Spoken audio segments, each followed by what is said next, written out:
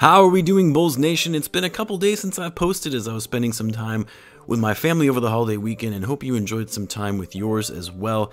And it's a great day because we finally get to see some Bulls basketball in action with a game later this evening against the Pacers, which I'll have a live chat for that game as always. But we did get some breaking news earlier this morning that the Bulls have signed Chicago native Alfonzo McKinnie for the remainder of the season and have subsequently waived Alize Johnson, which I'll admit I'm a little surprised by. Although at the same time, I guess uh, we should have seen this coming given the fact that Billy Donovan was prioritizing minutes for McKinnie, a hardship exception player that they signed to a 10 day contract over their full time roster spot in Alize Johnson. And McKinnie was actually very impactful in the time that he has been on the court. Only been three games, but still impactful in those limited minutes. But I am a little disappointed because I was pretty high on Alize when they signed him this offseason and based on the performance that we saw from him in the preseason. Now, for Alize, what I like seeing from him in the preseason was his hustle, his ability to crash the boards, and snag rebounds over guys that were much bigger than him. Uh, he wasn't that gifted offensively, but he played with effort and fought hard on both ends of the floor. I mean, based on what we saw in the preseason, I honestly thought that Alize was going to be in the Bulls rotation. And this was before Patrick Williams even got injured. Like, I expected him to be the backup four behind Williams because, again, he was really the only four on that team outside of Patrick.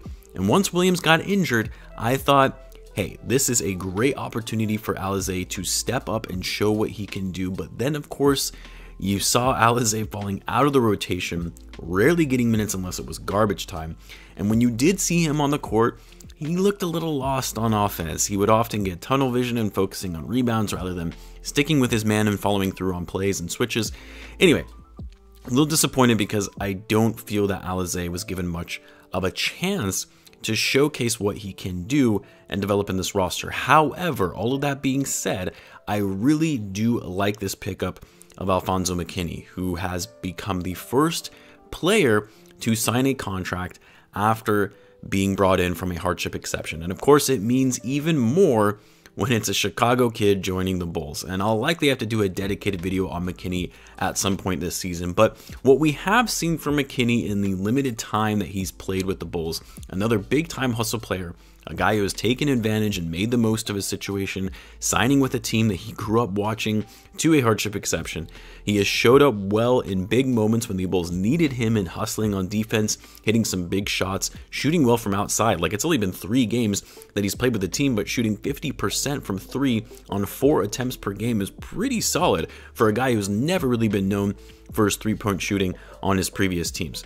So as sad as I am to see Alize go, I'm happy with this pickup for the Bulls. McKinnie likely isn't going to get many minutes now that all the Bulls are back in the lineup after having cleared the protocol. I don't see him cracking the rotation, but hopefully he can be that piece that gives the Bulls a little more depth at the three or four and another guy who can energize the team. Anyway, I just wanted to briefly share my thoughts on this breaking news. I want to know what you guys think of the Bulls waiving Alize Johnson and signing Alfonzo McKinnie for the remainder of the season. Don't forget, the Bulls have a game later tonight. Until then, as always, be sure to subscribe if you're a Bulls fan, as I do post daily Bulls content. Thanks again for tuning in, guys, and I will catch you in the next one.